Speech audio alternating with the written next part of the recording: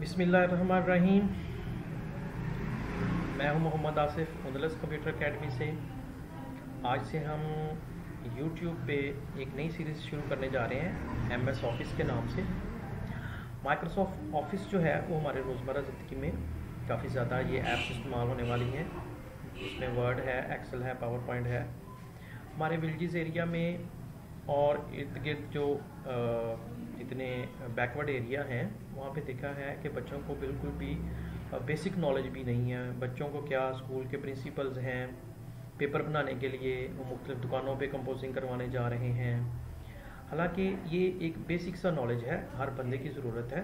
Computer literacy के अंदर जो है, ये बेसिक होना चाहिए कि ऑफ़िस मैनेजमेंट का काम जो है ना, वो बंदे को होना चाहिए। इसमें हम वर्ड एक्सेल और पावर पॉइंट की एक मुकम्मल सीरीज़ देंगे और साथ साथ असाइनमेंट दिया करेंगे। आपने वो काम करके दिखाना है और बिल्कुल बेसिक लेवल के ऊपर, ठीक है? तो बिला तखीर, आज से हम काम स्टार्ट करते हैं। आपने 10 से 15 मिनट की ये वीडियो देखनी है, उसके ऊपर प्रैक्टिकल करना है, ठीक है? ज़्यादा सिर्फ़ 10 मिनट रोज़ रोज़ के 10 मिनट 15 मिनट, और आप एक्सपर्ट आपको एक्सपर्ट बना देंगे हम इन ताला ऑफ़िस में मुख्तलिफ़ काम करने के। तो आज शुरू करते हैं हम। एम एस वर्ड को तो एम एस वर्ड में ये मैंने ओपन किया हुआ है ये प्रोग्राम तो सबसे पहले इसकी जो टूल्स हैं मुख्तलिफ़ उनके नाम प्रोफेशनल लोगों को भी आने चाहिए, ठीक है? फॉर एग्ज़ाम्पल जब हम वर्ड ओपन करते हैं तो ये इस तरह से दिखाई देता है। सबसे ऊपर जो आपको रेड कलर की पट्टी सी नज़र आ रही है, जिसमें मिनिमाइज बटन होता है, मैं आपको ऑफ़िस दिखाता हूँ दोबारा से। ये मिनिमाइज बटन है और ये पूरी पट्टी को जहाँ पे डॉक्यूमेंट का नाम होता है, जब हम फ़ाइल सेव करेंगे, उसका नाम आएगा तो इसको टाइटल बार बोलते हैं, ठीक है? ये अपने नाम याद करने हैं। मैं आपको बताता हूँ क्यों। आपने इसको टाइटल बार कहते हैं। नीचे मेन्यूज़ बने हुए हैं होम मेन्यू है, इसको मेन्यू बार कहते हैं। कि मैंने नाम लिख दिए हैं एक पिक्चर के ऊपर। जो नीचे पट्टी है, उसको स्टेटस बार कहते हैं और जो साइड पे होती है, उसको स्क्रोल बार कहते हैं। और ये जो हमारा छोटा सा निशान, ये जो काम करने के लिए इस्तेमाल होता है, इसको हम इस ब्लिंकिंग वाले जो साइन है, इसको कर्सर बोलते हैं। C U R S O R cursor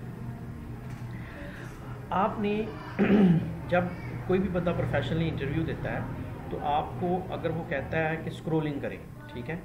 आपका जो माउस होता है माउस बटन उसमें भी बाकायदा एक लेफ़्ट क्लिक होता है और एक राइट क्लिक तो दरमियान में स्क्रॉल बटन होता है। तो ये जो साइड वाली बार है जिससे हम डॉक्यूमेंट से ऊपर नीचे जाते हैं, इसको स्क्रॉल बार कहते हैं। और ये माउस से स्क्रोलिंग बटन से भी हम ऊपर नीचे जो है, वो जा सकते हैं। स्क्रोलिंग बार इसी से कंट्रोल होती है, जिसको हम स्क्रोल व्हील भी कहते हैं। ये मैंने माउस की पिक्चर दी हुई है माउस की बॉडी है लेफ़्ट क्लिक है राइट क्लिक है, ये भी याद रखना, क्योंकि जब मुख्तलिफ़ चीज़ों के लिए बोलेंगे। जब क्लिक का लफ्ज़ बोला जाता है तो माउस की लेफ़्ट क्लिक ठीक है? और अगर आपके पास लैपटॉप है तो आपको पता है उस पर जो है, वो टच पैड इस्तेमाल होता है। तो टच पैड में जो है, ये आपको पता है दो बटन्स होते हैं। ये नज़र आ रहे हैं आपको। तो इधर वाले बटन को जो लेफ़्ट क्लिक है और राइट साइड वाले को राइट क्लिक के लिए इस्तेमाल करते हैं। और ये मूवमेंट होती है पॉइंटर की। ये जो सरफेस है, इसको हम टच पैड बोलते हैं। अच्छा अब नाम याद करने के बाद बेसिक सा काम होता है आपका आ, आपको सबसे पहले टाइपिंग जो है ना वो आनी चाहिए। तो टाइपिंग जो है वो करते हुए आपने क्या क्या रखना है? फॉर एग्ज़ाम्पल आप एक ऐसे लिखने लगे हैं तो ऐसे लिखने से पहले उसकी फ़र्ज़ करें आपने हेडिंग देनी है ठीक है? तो आपने लिखा एम वाई माई बेस्ट जो है, वो माई बेस्ट फ्रेंड का जो है, वो ऐसे लिख रहे हैं। तो टाइपिंग जो है, वो आपने हर वर्ड में एक स्पेस देनी है, एक वर्ड लिखने के बाद स्पेस देनी है। नीचे लाइन पे जाने के लिए एंटर की जो है, वो आपने प्रेस करनी है। मैंने आपको बताया कि मैं हम बहुत ही बिगनर्स लेवल पे, अगर बीटिंग वाली जो है, वो चीज़ें आती हैं तो आप नेक्स्ट जो है ना, अगली वीडियो देख सकते हैं लेकिन इसमें भी हम आपको ऐसी चीज़ें बताएँगे जो पहले आपने नहीं की होंगी इन ताला। तो टाइपिंग की, अब नेक्स्ट लाइन पे गए। हमने लिखा आई हैव मैनी फ्रेंड्स ठीक है? तो अब यहाँ पे आपने जब एक फ़िक्रा ख़त्म करना है या कॉमा लगाना है तो आपने एक स्पेस देनी है। फुल स्टॉप के बाद कॉमा के बाद सेमी कॉलन के बाद अपोस्ट्रॉफ के बाद आपने कभी भी कोई सैंपल यूज़ करनी है तो उसके बाद एक स्पेस ज़रूर देनी है ठीक है? और अगर आप देखें लिखते हुए आ, आप कुछ लिखते हैं फिक्रा लिख रहे हैं बेस्ट और फ्रेंड के स्पेल जो हैं वो आपसे गलत हो जाते हैं ठीक है? तो क्या होगा? आपके एम एस वर्ड कुछ स्पेल जो है वो ऑटोमेटिकली ठीक कर देता है। लेकिन कुछ स्पेल इसमें, क्योंकि ऑटो करेक्ट है, वो भी आप आगे जाकर आपको बताऊँगा। और कुछ स्पेल जैसे मैंने ये बॉय के स्पेल लिखे हैं, ठीक है? तो इसने नीचे रेड लाइन दे दी है। रेड लाइन जो है, ये आपको स्पेल जो है मिस्टेक देता है। ग्रीन लाइन अगर आए कभी तो वो ग्रामर की मिस्टेक देता है। तो इसको बेसिकली ठीक करने के लिए आपने क्या प्रेस करना है? आपने प्रेस करना है F7 जो ही आप F7 प्रेस करेंगे तो ये साइड पे या एक बॉक्स आ जाएगा आपका। तो उसमें आपने स्पेल को ठीक स्पेल लेने हैं और उनको क्या कर देना है? आपने चेंज कर देना है। ठीक है? तो आपके स्पेलिंग जो है ना वो ठीक हो जाएँगे। लेकिन कुछ नाम और स्पेल ऐसे होते हैं जिन जो कि आपको ठीक भी होते हैं। जैसे आ, कोई भी नाम है हमने अनीस लिखा। तो अब ये नाम जो है, इसकी एरर नहीं आ रही, ठीक है? लेकिन हम यहाँ पे कुछ भी खुरम लिखते हैं। तो अब इस नाम में स्पेल की जो है, वो भी, ये सारे जो है ना डिक्शनरी में ऐड हैं। लेकिन ऐसा कोई नाम, जो डिक्शनरी में ऐड ना हो, ठीक? फॉर एग्ज़ाम्पल हमने जमाल लिखा, ठीक है? एहसन लिखा।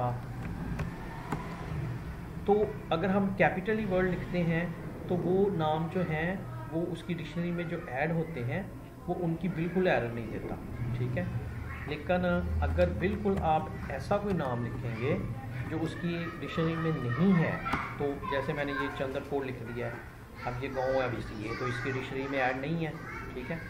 अभी आप, ये देखें, ये जो अनीस और कुरब ये जो मैं लिख रहा हूँ, ये मेरी ऑफ़िस में डिक्शनरी में ऐड है। लेकिन अगर आप अपने जब टाइप करके देखेंगे ना इन नामों के नीचे रेड लाइन जो है वो आएगी। तो आपने क्या करना है?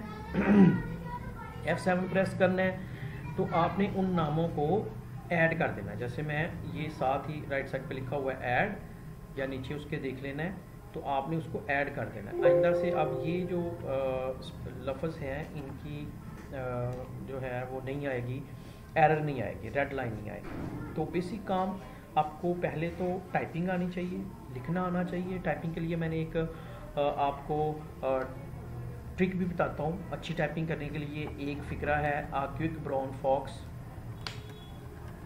brown fox jumps over the jumps over the lazy dog तो ये आप रोज़ टाइप करें, दस से पंद्रह दफ़ा आप देखें जम्प्स के स्पेलिंग गलत हुए हैं। क्या बताया था मैंने? एफ़ सेवन एफ़ सेवन आपने प्रेस करना है तो आपने उसको चेंज कर देना है। अगर स्पेलिंग ठीक करनी है, अगर वो आपकी डिक्शनरी में नहीं है तो उसको ऐड कर देना है। तो ये ये जो क्विक ब्राउन फॉक्स ये जो आपको एक मैंने सेंटेंस बताया, आप इसको रोज़ जो है ना, वो टाइप करें। तो आपकी टाइपिंग स्पीड जो है ना, वो बेहतर हो जाएगी। क्यों? क्योंकि इसमें ए से लेकर जी तक सारे अल्फ़ाबेट्स मौजूद हैं।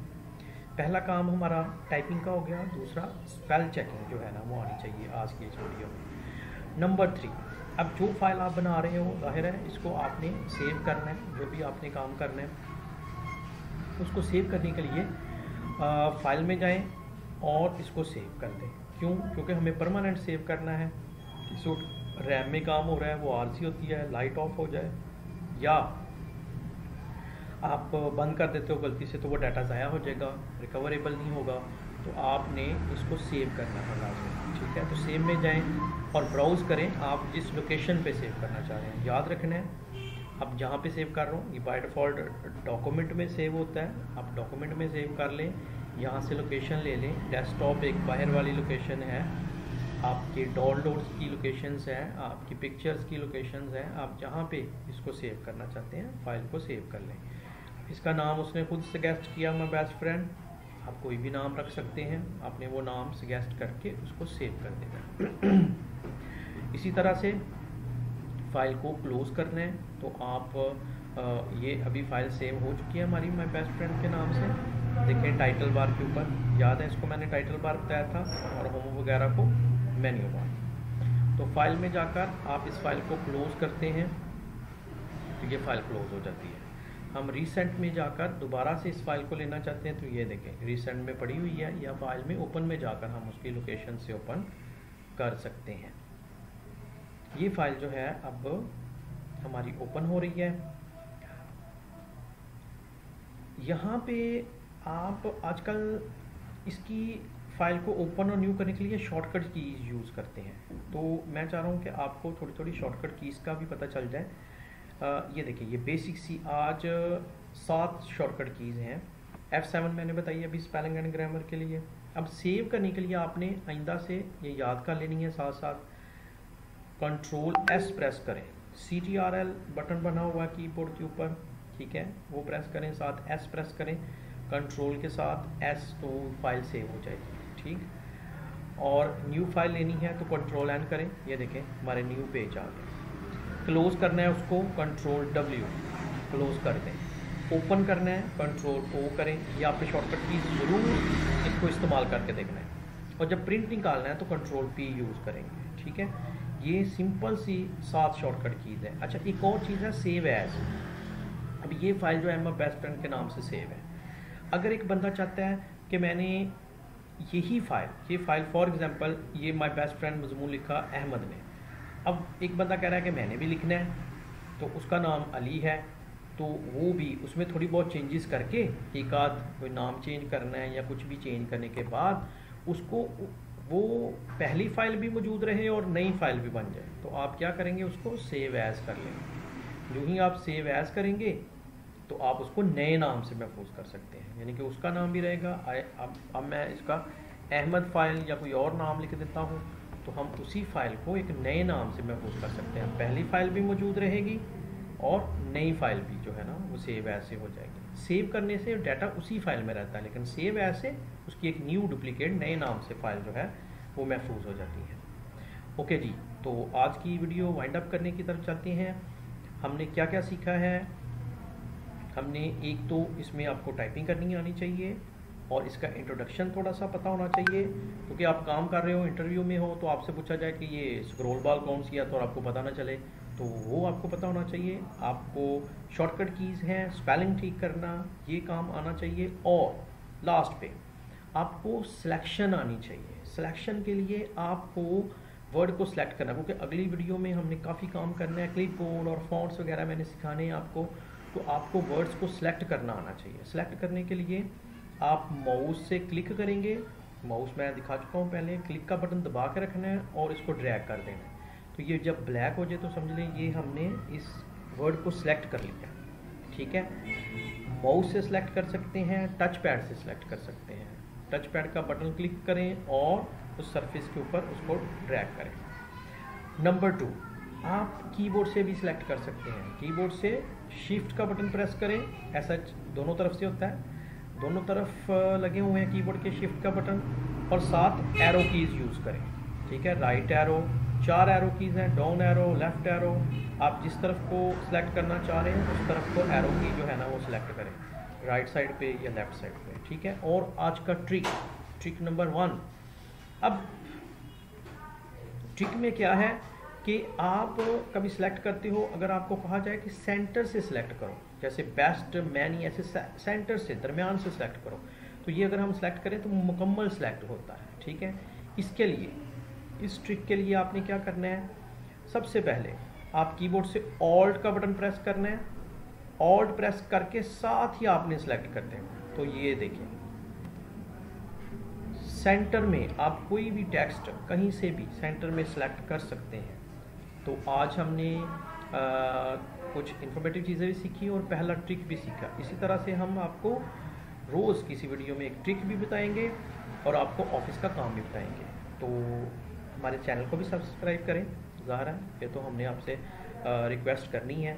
और साथ साथ आपने रोज़ 10 से 15 मिनट निकालें। ऑफ़िस सीखें, बहुत ज़रूरी है। और असाइनमेंट असाइनमेंट जो मैंने साथ आपको अपलोड करूँगा, वो फ़ाइल आपने साथ डाउनलोड करनी है, वैसे देखकर आपने एक असाइनमेंट बनानी है। असाइनमेंट में कोई प्रॉब्लम होगी तो आप हमसे रब्ता करेंगे व्हाट्सएप नंबर भी देंगे आपको। इन ताला आपकी मुकम्मल गाइड करेंगे, आपकी सारी हेल्प करेंगे। लेकिन शर्त यह है कि आप स्टार्ट ज़रूर करें। ठीक है जी? ओके अल्लाह हाफिज़।